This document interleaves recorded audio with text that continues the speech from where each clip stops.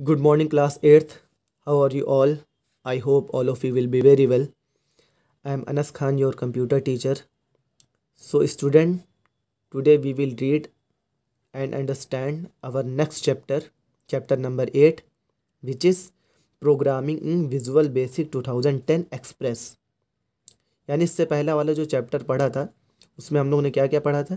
कि आप प्रोग्राम को कैसे क्रिएट कर सकते हैं, कैसे एग्जीक्यूट कर सकते हैं, कैसे सेव कर सकते हैं, ये सब सारी चीज़ें पढ़ी थी। तो इसमें आप क्या करेंगे? प्रोग्रामिंग करना सीखेंगे। Programming in Visual Basic 2010 Express ये एक पूरे सॉफ्टवेयर का नाम है। यहाँ से लेकर यहाँ तक ये क्या है? एक सॉफ्टवेयर का नाम है।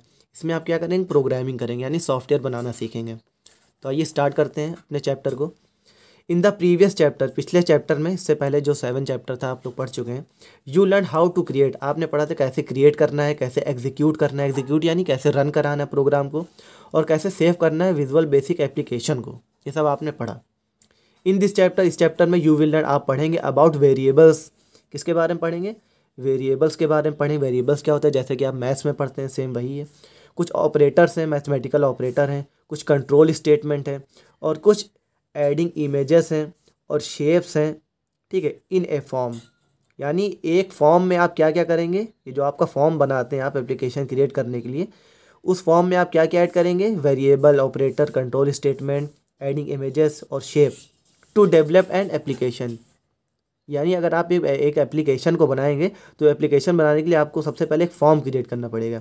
और फॉर्म में आप क्या क्या करना सीखेंगे? Variable operator statement adding images and shape okay control are place on the form for creating and interface of application यानी आपको अगर एक एप्लीकेशन एक सॉफ्टवेयर बनाना है तो उसका इंटरफेस आपको जो बनाना है, अगर आपको उसका इंटरफेस क्रिएट करना है तो उसका इंटरफेस क्रिएट करने के लिए सबसे पहले आपको एक फॉर्म लेना पड़ता था, आपको याद होगा?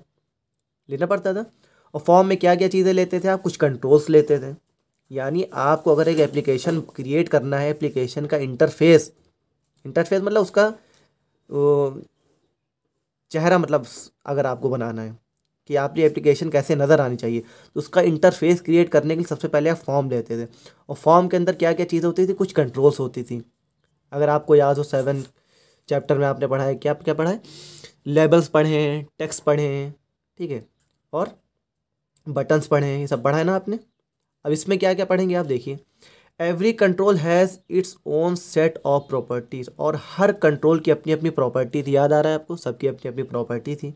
कुछ मेथड्स थे, कुछ इवेंट्स थे। सबकी अलग अलग क्या थी? प्रॉपर्टी थी कंट्रोल मेथड्स थे और इवेंट्स थे।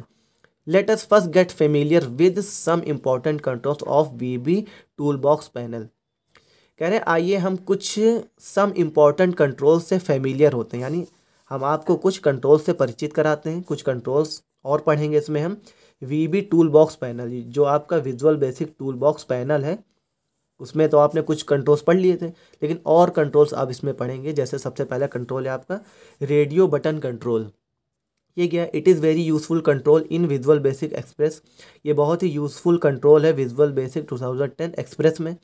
Radio button are mutually exclusive ये जो आपका रेडियो बटन है क्या है? म्यूचुअली एक्सक्लूसिव है। म्यूचुअली एक्सक्लूसिव का क्या मतलब होता है? Which mean the user can choose only one option इसका मतलब ये होता है कि आप अगर एक एप्लीकेशन सॉफ्टवेयर बना रहे हैं तो उसमें आप एक ऑप्शन रखेंगे येस और नो का। यानी या तो वो येस पर क्लिक करेगा, या तो नो पर। या तो ट्रू पर क्लिक करेगा, या तो फॉल्स पर।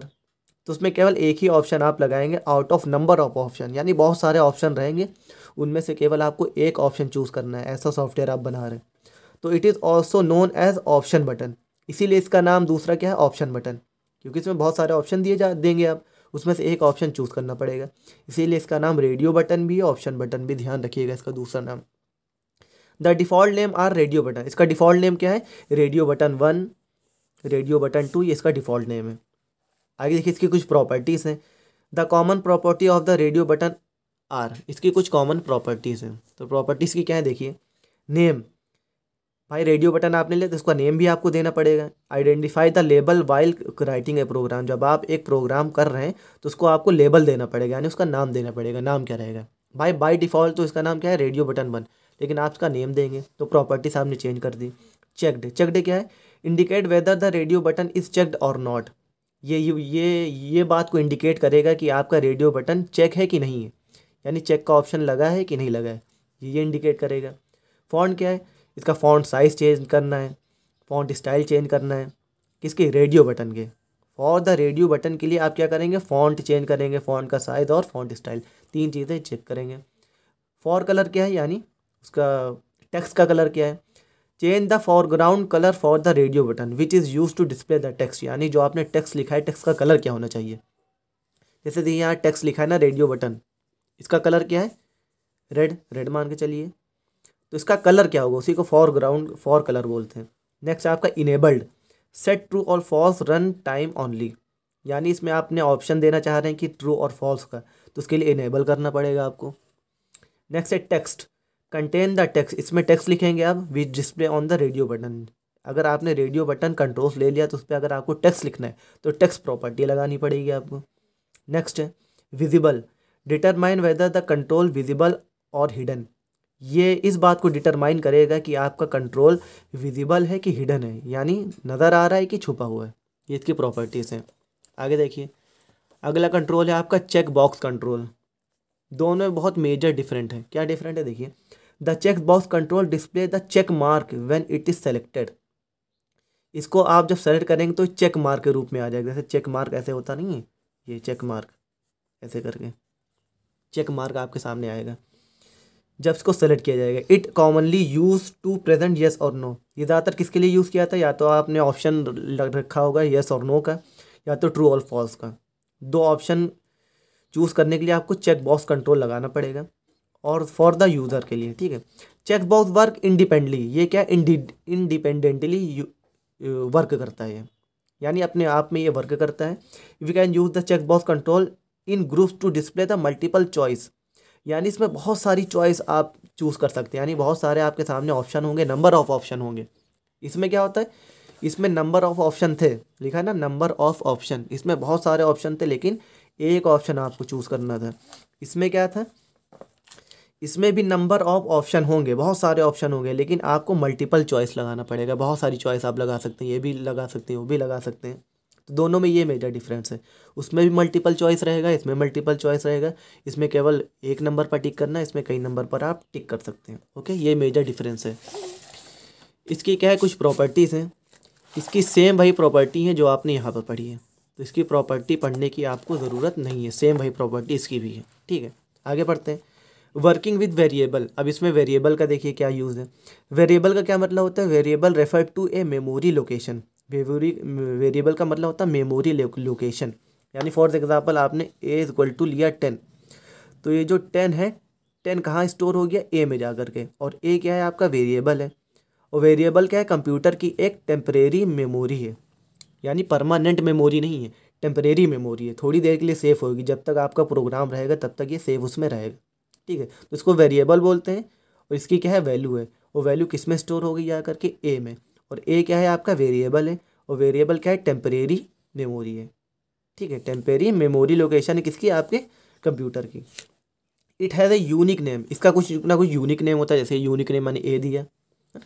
Which is use to identify a program इसका कुछ ना कुछ यूनिक नेम होगा। ए हो सकता है बी हो सकता है सी हो सकता है एक्स वाई जेड हो सकता है। ठीक है? पी आर एस टी हो सकता है, कुछ भी हो सकता है। अब यहाँ पर देखिए वेरिएबल की कुछ कंडीशन है। आप एक वेरिएबल कैसे डिक्लेयर करेंगे? A V B variable name यानी विजुअल बेसिक जो वेरिएबल है, उसके कुछ कैरेक्टरिस्टिक्स होते हैं। वो क्या है देखिए? Must be less than two double five character यानी टू फिफ्टी फाइव करेक्टर से ज़्यादा उसके करेक्टर नहीं होने चाहिए। यानी जैसे आपने कोई प्रोग्राम बना रहे तो आपने अपना नाम दे दिया सलमान। इसमें कितने करेक्टर है? One two three four five six ये आपने क्या दे दिया? वेरिएबल दे दिया। आपने यहाँ पर ए वेरिएबल दिया था, यहाँ पर आपने अपना नाम वेरिएबल दे दिया। कुछ भी दे सकते हैं, लेकिन करेक्टर टू फिफ्टी फाइव से ज़्यादा नहीं होने चाहिए। जिसकी कंडीशन है। शुड नॉट कंटेन स्पेस उसके बीच में स्पेस नहीं होना चाहिए। जैसे आपने लिखा सलमान और आपने स्पेस दे दिया खान तो बीच में स्पेस नहीं होना चाहिए। या डॉट नहीं होना चाहिए। देखिए स्पेस नहीं होना चाहिए और पीरियड यानी डॉट नहीं होना चाहिए। इनके साइन नहीं होना चाहिए। जैसे सलमान डॉट खान नहीं लिखेंगे आप लिखेंगे सलमान और यहीं से लिखेंगे खान। समझ में आ रहा है? ध्यान दीजिएगा। Must not begin with a digit यानी आपने जो वेरिएबल दिया है, इससे पहले डिजिट नहीं होना चाहिए। डिजिट यानी यानी टू टू सलमान खान या फोर सलमान खान, इस तरह करके नहीं होना चाहिए। या ट्वेंटी सिक्स कोई भी नंबर इससे पहले नहीं होना चाहिए। इसकी कंडीशन है। यानी स्पेस नहीं होना चाहिए पीरियड नहीं होना चाहिए, और डिजिट नहीं होना चाहिए, और टू फिफ्टी फाइव करेक्टर ज़्यादा नहीं होना चाहिए। और इसमें होना क्या चाहिए? कैन कंटेन अंडर स्कोर इसके बीच में अंडर स्कोर आप साइन लगा सकते हैं। यानी अंडर स्कोर आप लगा सकते हैं। स्पेशल सिंबल कोई स्पेशल सिंबल आप यूज़ कर सकते हैं, जैसे कि अंडर स्कोर फॉर एग्ज़ाम्पल आपने लिखा सलमान और अंडर स्कोर खान. ये देखिए तो बीच आपने अंडर स्कोर लगा देना, ये क्या है वैलिड है? ठीक है, लेकिन आप डॉट लगा देंगे तो वैलिड नहीं है. स्पेस दे देंगे तो वैलिड नहीं है. यानी अंडर स्कोर दे देंगे तो वैलिड है. ठीक है, देखिए, कुछ वैलिड वेरिएबल है, कुछ इनवैलिड वेरिएबल समझिए एग्ज़ाम्पल से. सिंपल इंटरेस्ट आपने लिखा सिंपल इंटरेस्ट तो सिंपल और इंटरेस्ट के बीच में स्पेस होना चाहिए ना, लेकिन स्पेस क्या है? अलाउ नहीं है। तो आप क्या दे देंगे? अंडर स्कोर ये वैलिड है।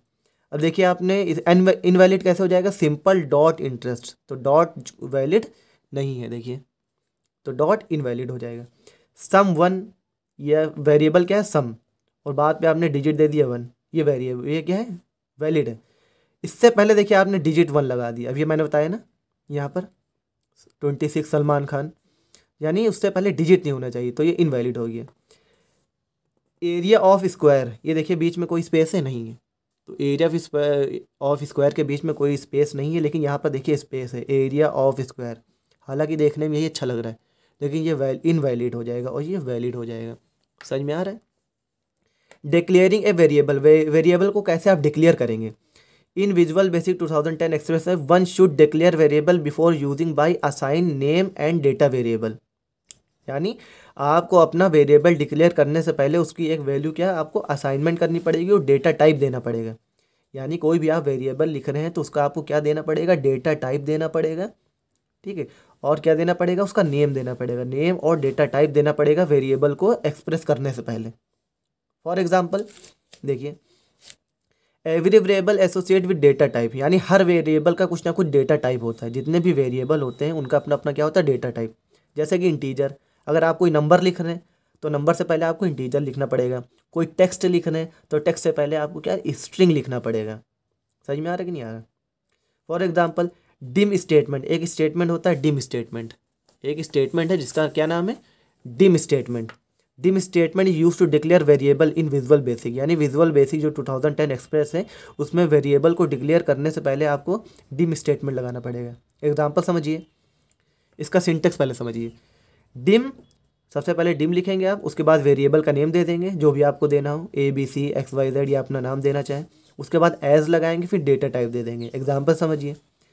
आपने देखिए डिम लगाया देखिए डिम लगाए वेरिएबल नेम आपने दे दिया लेंथ फिर एज लिखा एज लगा दिया। फिर डेटा टाइप आपने क्या दे दिया? इंटीजर तो दो डेटा टाइप आपने पढ़ा एक इंटीजर एक स्ट्रिंग यानी लेंथ में आप तो ज़ाहिर सी बात है नंबर लिखेंगे। लेंथ कितनी होनी चाहिए? तो लेंथ नंबर में ही लिखी जाती है। तो नंबर के लिए आपको डेटा टाइप क्या लेना पड़ेगा? इंटीजर ठीक है? अगर आपको टेक्स्ट लिखना है तो टेक्स्ट के लिए आपको क्या लेना पड़ेगा? इस इंटीजर की जगह स्ट्रिंग लेना पड़ेगा। समझ में आया? कि नहीं आया? ठीक है? तो it will create a variable इससे आपका एक वेरिएबल क्रिएट हो जाएगा। किसके नाम से? लेंथ के नाम से। और इंटीजर वैल्यू भी उसमें स्टोर हो जाएगी। ओके तो यहाँ तक आप लोगों ने पढ़ लिया है। इसके आगे का अगले असाइनमेंट में आपको बताया जाएगा। ठीक है, यहाँ तक समझ करके रखिएगा, यानी वेरिएबल को कैसे डिक्लेयर किया जाएगा। हर वेरिएबल का अपना अपना डेटा टाइप होगा, जैसे कि इंटीजर और स्ट्रिंग और उसको डीम स्टेटमेंट से यूज़ किया जाएगा। Okay I hope all of you understand very well thank you very much